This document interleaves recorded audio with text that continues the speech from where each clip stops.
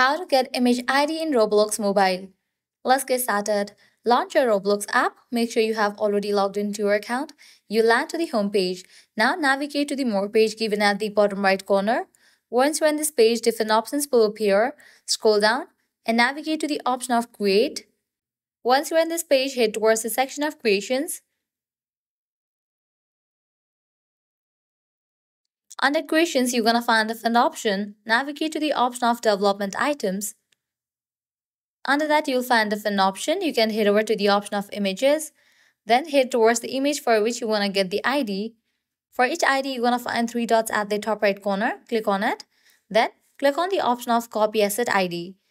And that's your image ID. So this is how you can easily get image ID in Roblox Mobile. You can apply the same process and get image ID for any of the image. Well, that's a wrap for this video. If this guide was helpful, don't forget to like, share and subscribe to our channel. Thanks for watching.